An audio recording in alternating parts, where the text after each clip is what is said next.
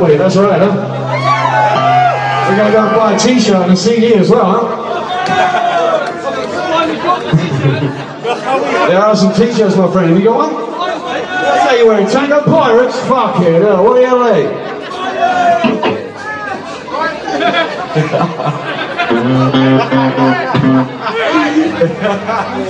yeah, man. Listen. Say hello to my man on the drums here. He's going to write this up here. Right McCoy.